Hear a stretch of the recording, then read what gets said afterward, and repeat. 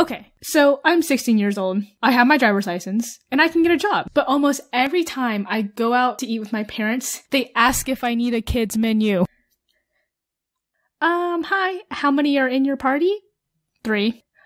Uh, okay, do you need a kids menu? And that's usually what happens. Now, some might be saying, oh, but you were looking down at your phone, so they couldn't see your face. And I thought that too for a while. But then the next time I went out, I made sure to not be looking at my phone when the hostess asked how many. And you know what? She still asked if I needed a freaking kids menu. Like, girl, I go to your school. Now, granted, I go to a really big high school, and so I think I've passed her in the hallway a few times, but she probably has no idea who I am, which is fine because I really don't care. But still, do I look like I'm 10 or under? Unfortunately, I think the answer to that is yes. I'm five foot even, so I know I'm the height of a fourth grader, but do I really look like one? I look like a seventh grader at the least, so that should get me to the 10 or under guidelines. Now, sometimes it can be a good thing to look younger than you are. Let's say you want to go to Disney World. You're 12, but you could pass for 9. That's good because Disney World is really hecking expensive, and saving those $12 might actually be really helpful. And looking younger can also be nice when you're older. You're 50?